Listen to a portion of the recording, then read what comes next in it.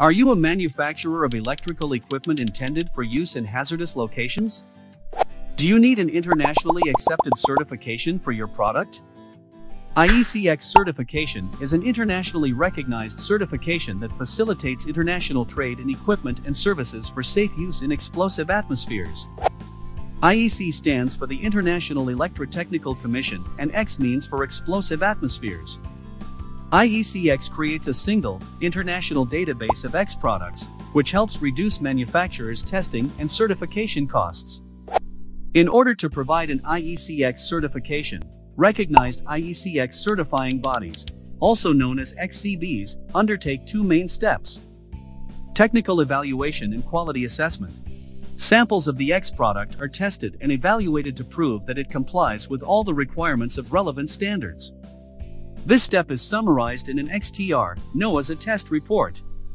In addition, all locations where the product will be manufactured are audited to prove that they are capable of manufacturing products identical in design and performance to the tested sample. This quality assessment is summarized in a quality assessment report, known as a QAR. Only if these evaluations are successful may a product be IECEx certified. Once an IECEx certificate of conformity is issued by the ExCB, the product is assigned a unique IECEx certificate number to be placed on the product nameplate. This IECEx certificate number has four main parts. IECEx symbol. The accredited ExCB issuing the certificate, example, UL, CSA, QPS, Intertek.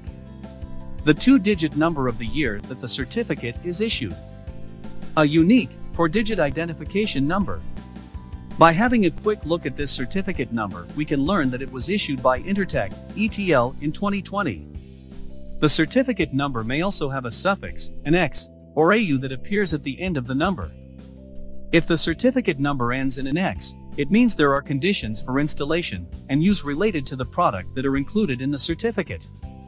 A suffix U indicates that the product is a component that can be incorporated into equipment and may need an additional evaluation once installed.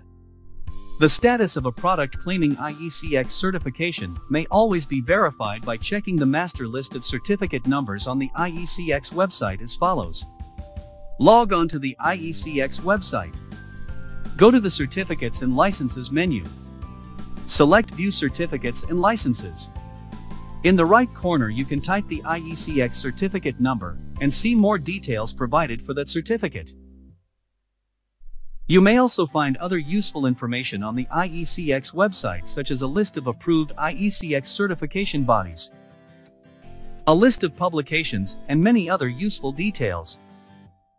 We hope you enjoyed this presentation. If you still have questions about IECEx certification, please contact the Hazcon team. Hazcon Incorporated. www.hazcon.com